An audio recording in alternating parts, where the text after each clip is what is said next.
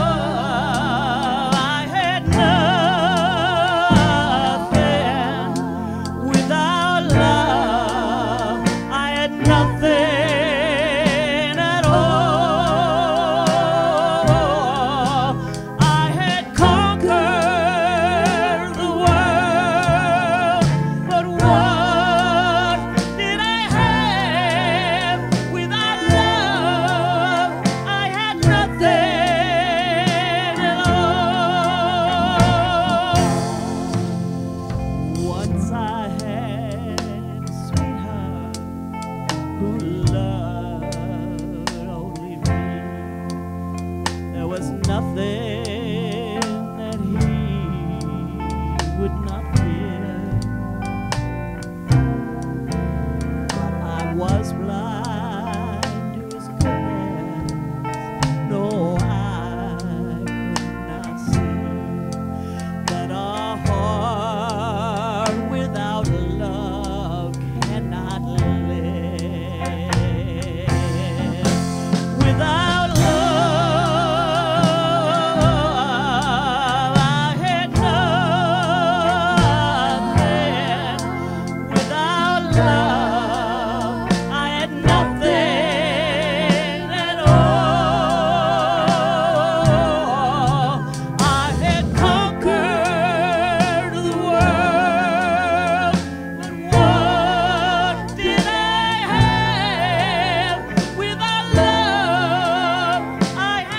te